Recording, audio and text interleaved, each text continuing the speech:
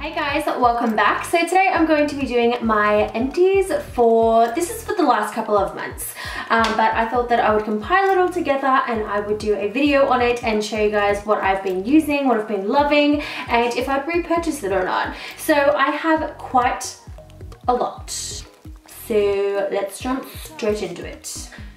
So I will start off with a little bit of skincare. So I actually went through the Sephora Triple Action Cleansing Water. Love this stuff, super easy. It's just like Bioderma, just the Sephora brand. Um, this is the medium, uh, the medium shade. It's gonna be a good video. This is the medium size and I didn't go through it too quickly, surprisingly. I go through Bioderma like it is crazy, just like it's not even funny how quick I go through it and I, it is a little bit more expensive than the Sephora one. The size I think from memory is $16 um, and I usually pay 30 for Bioderma. So definitely loving this and will definitely repurchase it. Um, also I went through a moisturizer. This one is by Clinique. This is their Moisture Surge. It is that really pretty baby pink color. I really enjoyed this even though it is um, more so for or it's more of a gel texture so it Seems like it'd be more so for drier skin because it is part of their um, Moisture Surge range. The gel formula is actually better for your oilier skin. So I am combination to oily skin and I found this worked an absolute treat for me. I really enjoyed it and would definitely repurchase it. Of course, I have backups upon backups upon backups of moisturizer and once I have gone through those I will definitely consider repurchasing this one because I really liked it.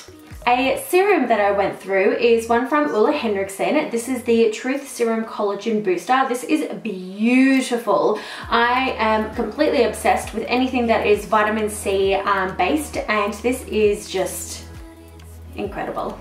This is something that I always recommend to my customers um, and I really, really do believe in how amazing this is. And it really did my skin a lot of good to it as well. It really did help brighten it. Um, I really felt like it uh, what's, what am I trying to say? I felt like it definitely brightened. I felt like it really helped with the, I guess, color of my skin where it helped a little bit of the redness. I just truly, truly love this product. And again, like I said, I recommend it to everyone. It is awesome. It is, again, the medium size. This is 30 mils. Um, you can also get a small size and a larger size. And I absolutely love this and would definitely consider repurchasing it. Again, I do have a lot of skincare backups just from work, from PR, just me purchasing them. There is a lot of backups and once I kind of go through some of them, I'll definitely repurchase it. Um, I absolutely love this stuff though and would recommend it 110%. Okay, quickly going on to cosmetics because there is a lot here. So first thing that I went through was my IT Cosmetics CC Cream. If you guys remember, I rave about their stuff all the time. I absolutely love it. It is one of my hands down favorite foundations. The reason why I love it so, so much is that it not only has your SPF 50, but it's also half skincare. It's basically skincare with a tint. Um, it is incredible. It's anti-aging. It has your hyaluronic acid in it, your collagen in it, um, and also it is completely um, I believe it's all cruelty free. A lot of their products are vegan and it's just incredible. It's really um, moisturizing. It's great for anyone who has combination oily skin like myself. It's also really great for anyone who has drier skin. Anyone can use it. Any age can use it. There is no discrimination against anyone with this particular product and I just think the product is absolutely beautiful. Um, I've actually got a backup and I'm currently using it at the moment. Um, for reference, I do use the color medium and that is kind of like my go-to unless I am not then I will use light. But this is definitely something that I, again, recommend to anyone who's asking for a newer foundation. This is incredible and I would recommend you guys checking out. Um, it's just something that I think everyone needs to try because it is so different to any other foundation that I've tried. It is medium to full coverage and I love it, obviously. Two eyeliners that I have gone through. One is the Marc Jacobs Highliner and Blacquer. Again, you guys know I absolutely love this stuff. I go through it like it is just going out of fashion. And this is a gel liner that is completely waterproof. It does not budge at all. I am completely obsessed. I've got two backups. I'm using one at the moment. And this I like to use as either a smoky liner or I tight line with this every day. Um, I just love this so, so much. The eyeliners in this range are incredible. I think they're like 34 35 or $36, can't fully remember, but it's around that mark and it is incredible. I am so, so obsessed. If you guys are after a new eyeliner, definitely give this one a go. I remember I was raving about it in one of my recent favorites and I was just like going nutso on it. And I remembered after I was filming, I'm like, that was so weird. Like I just raved about an eyeliner for such a long time, but it is incredible, completely different to everything that I've tried before. And I think that you guys definitely need to try it. Alongside with the Clinique Pretty Easy eyeliner, I've lost the cap to this. It fell and it's gone elsewhere. Who knows where it's gone? As soon as I lose something, it is just it's just gone. I've just got to come to terms with it. It's completely gone. So this eyeliner is incredible. Between this and the Kat Von D um, tattoo liner, they're definitely my favorites at the moment. Um, really, really easy to use, super precise tip, really black, and there's just not much more to say about it except that it is incredible and it is definitely a hidden gem. Um, definitely um, recommend it if you guys are after a new eyeliner and of course I would definitely repurchase it. I went through a mascara and I'm almost out of another mascara. This one is the Marc Jacobs, the Velvet Noir. This I love. I love this mascara so, so much. If you guys like Too Faced Better Than Sex, you will love this one as well. It's kind of like that, but on steroids. Um, so it has that really nice kind of hourglass shape, just like the Too Faced Better Than Sex, except all of these are completely um, laser cut to uh, grab every eyelash that you have pretty much. Um, it is just an incredible mascara. I've got a backup of this at the moment and of course I will definitely repurchase it once I go through that because I love this. Um, it's definitely one of my favorite mascaras at the moment. I find that if I'm wanting a lot of volume um, and a lot of drama without wearing falsies then this is the mascara to go for. I absolutely love it and again I recommend it to Okay, so some brow things that I went through. I went through three brow pencils, and again, I'm about to go through another one. So first one being my Benefit Precisely My Brow. This is my holy grail, my ride or die. This is what I use every day, and I just don't think I don't think anything's as good as it. I'm just gonna say it. I think this is honestly the best brow pencil I think I've ever used. The color is just on point. I have it in my brows at the moment. I have two backups at the moment and I'm going through one of them. Um, again, I will continually, con continually, I will always repurchase it because it is fantastic. Now, I do find that these two are quite similar. I just don't think they're as good. Um, I don't know fully the reason why I don't think they're as good. I just think I just think the Benefit one because I'm so in love with it. I just don't think anything really, I guess, uh, it's just not as up to its standard of Benefit. And this is so crazy because the one is from Anastasia and it's her brow wiz and I really, really enjoyed it. I just think the color is a little bit darker than number two in Benefit and that is like my that's like my favorite color.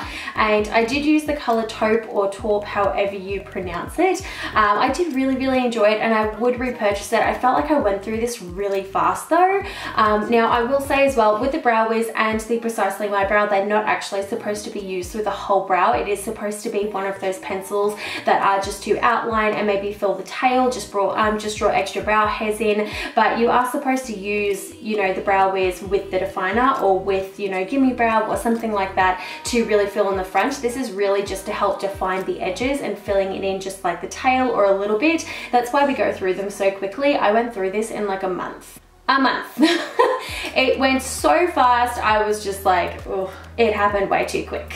So I would repurchase it, but just with caution because it does, I does, you run out of it really fast. I was really, really surprised, but still really, really great pencil, not bashing it at all, but I just like my benefit a little bit better. I also went through the BH Cosmetics HD Brow Pencil. This I actually really, really love and I would definitely repurchase it. It's a lot more affordable than the Benefit and Anastasia and the color is pretty fantastic. I do use the color Blonde in this and it is exactly the same as the Anastasia. Um, pretty much the same as the Precisely My Brow too. Moving right along to another brow product. This is my favorite brow gel Ready Set Brow by Benefit is literally the best brow gel. I'm not even kidding. I have tried so many brow gels in the market and there's a lot of them that I do love. I just think this is the best for really waterproofing your brows because that's what it does. It's a really great waterproofing brow gel. It does not move. I really find that I have to work to get my brows off at the end of the day, which really stands out to me because a lot of other brow gels don't do that. And I really love the brush on this as well. It's very unique. It has a flat paddle kind of vibe, you know what I mean? Yeah, very unique. I really love it. And again, I would recommend it 110% over pretty much every other brow gel. Moving right along to powder. So I've actually gone through three powders, two again from Benefit. This is again, hands down, like one of my favorite brow powders, uh, brow powders we've moved on for the brows. We're onto the face. This is one of my favorite face powders. Um, it is the Hello Flawless and I've gone through two of them and I still have a backup which I am savoring so, so bad. Um, but I do use the color Champagne and again, they are totally out. There's like nothing left in them, which is so sad. Um, this one, I actually, um, there's one of them that I totally smashed as well. Um, there's a, a few little crumbs in there, but I've tried repressing it, it's just not gonna happen. So it is definitely an empty, would definitely repurchase those. And I also again went through another BH Cosmetics product. This is the Studio Pro powder. This is fantastic. I really, really enjoy it. For the price, it is awesome. Um, and for color reference, I use the color 215, but I'm totally out. And it was, for the price, it is fantastic. I love BH Cosmetics um, makeup. It is just so affordable and the quality is awesome. Um, but definitely would repurchase this it is amazing. I finally I say finally because I've had this for so long. I finally got through my Soleil Tan de Chanel Cream Bronzer. I'm not even kidding. I've had this thing for the longest time. It's still got, okay, there is still some product in here, but it's gone completely gross and all dry. But seriously, this thing lasted me so long and I did have a backup of it. So I've opened that and I've started using it again and I've just remembered how much I love it. It is amazing. It just gives that really nice soft kind of bronzy glow I am obsessed um, and Chanel is just so luxurious. It is beautiful. It is just like, mm, love this bronzer and I'm sure if you've tried it you know how amazing it is as well. I also went through a primer. This one is by Makeup Forever. It is the step one and this is the smoothing primer. They've also got the mattifying primer and then they've got like six other primers. There is one for every skin concern that you would ever have. Um, this is really nice if you like that silicone kind of velvety texture just like Benefit Professional. It's very similar um, and they are quite expensive I will say. A full size which is about this big is $58 um, but the small one actually lasted me a really long time. I was really, really impressed and I actually really enjoyed it and I would definitely consider repurchasing it. But I do have a couple of the silicone based primers so once I've gone through those, I'll consider repurchasing it. Okay, so two random things that I want to show you guys that I've gone through is the um, Lush Snow Fairy. This is from last Christmas. I savored this like it wasn't even funny. Like this is my favorite, uh, what is it called? Shower gel. This is seriously my favorite shower gel. It smells so freaking good. It's not even funny and it only comes out like in Christmas time. I'm pretty sure I just got an email from their PR company saying that it's gonna be like the July and Christmas, Christmas in July or whatever. And I think they're re-releasing this. So if I can get my hands on it in July, I will be stoked. I also went through one dry shampoo. This one is from Toni & Guy. I think I got this in a Bellabox and I actually really enjoyed it. I mean, I'm really not fussy when it comes to dry shampoos. Obviously some work better than others. I found that this one did the job just fine. I would definitely repurchase it. Um, but from what I am aware, Toni & Guy is a little bit more on the more expensive side. But I mean, if it does the job, I don't mind splurging a bit. But this I mean, it seems like it did an okay job. makeup wipes, after makeup wipes, after makeup wipes. There's one more. I go through makeup wipes like it's not even funny, like it's going out of fashion. So the ones that I typically will always go for, these ones are just from Target. Um, they're like $2. I really, really enjoy the exfoliating one. These are awesome. Um, they have little nubs on the side. Even though it is exfoliating, I find it is quite gentle on the skin and it removes my makeup really, really well. And they're only $2 each. I also go through these So Fresh, which you can pretty much get these anywhere. They are pretty much available in any kind of chemist. Um, you can get them at Cosmetics Plus, um, and they're super cheap. They're like $2.95 a packet again. They do really, really well. I've got two more packets at the go at the moment. Um, I actually really like the uh, Milk and Honey one, probably the best. I don't know why, I just really, really like them. They all work really, really well, and they remove my makeup just fine. Okay, two higher end, higher end brands. Um, you've got Philosophy. These are the Purity Wipes. These were awesome. They're really, really big, and I found that they remove my makeup really nicely I'll definitely repurchase those. And also, I've also been a lover of the Ole Henriksen face wipes. The orange ones are my favorite, um, but this is the green pack and it's the Grease Relief Cleansing Cloth. This is one of the um, exfoliating pads as well. Now, this does have um, your AHA, so your alpha, alpha hydroxy acids. I think that's what it stands for. Um, yeah, really, really nice. I will say though that it did burn my eyes a little bit, but around the face it was totally fine. So just around this region, I just ignored. Um, but yeah, it did a really good job. And especially if you're oilier, you will love these. Face masks galore. So many face masks, it wasn't even funny. I've gone through so many face masks, it is just, it's ridiculous. So, oh, and there's another makeup wipe as well. Oh, and there is another eye makeup wipe by Tarte. These are awesome. These are the Maracuja wipes for eyes and I, they help remove waterproof makeup. I love these. I would definitely repurchase these and I really, really like the scent as well, just to quick mention. But as for face masks, I went through so, so many. I really am not fussy with face masks. The only ones that I am fussy with is anything that is coconut scented. I find that my skin just doesn't really like the scent uh, or artificial scent of um, coconut. So anything that was coconut based, um, that is the only complaint that I'll ever have about face masks. But besides that, everything else was really nice. A couple of these Tony Moly ones, these were really nice. Um, I find they all do the same kind of thing. They're really hydrating, some Daiso masks. You've got a ton of Sephora masks. Um, love this rose mask. This is amazing. I honestly will repurchase them time and time and time again. I've got two of those. Um, also, um, yeah, some more Sephora masks. You've got the pomegranate. Really, really enjoyed that as well. Um, oh, another, another mask, the rose one. Um, this is something that I don't hear anyone talking about, but this is the Sephora hand mask as well. And I wrote down my thoughts on there so I'd remember um, because I'm super efficient. So I did write that I absolutely love them. I remember that it made my feel my hands feel really, really soft after. It smells like baby powder. Um, this is the avocado one. They've also got, uh, I think, two more, and they've got a foot mask as well, which I am yet to try.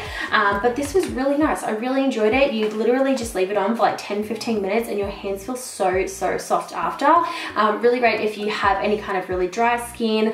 Um, it was actually really funny. I had a girl come into work, and she was like, I'm diabetic, and I prick my finger hips, and I want something to smooth my skin. I'm like, girl, I'm like, I'm diabetic too. I'm like, I feel ya. Something to bond over. Um, but I actually found that it did a really good job of hydrating and it really helped with the dryness of my hands. Um, also went through quite a few of these nose masks, again from the Sephora range. These did an okay job. I mean, really, I don't have much luck with the whole blackhead situation, but I still have like 50 billion backups of them just in case. They work really well on Josh, but not so much on me.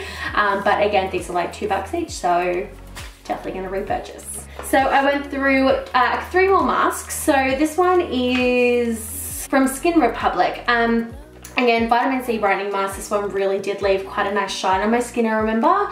Um, so really nice and hydrated, would definitely repurchase that.